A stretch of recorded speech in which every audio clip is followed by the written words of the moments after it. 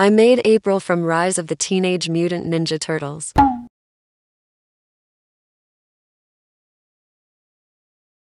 Hey girl, Hey, April.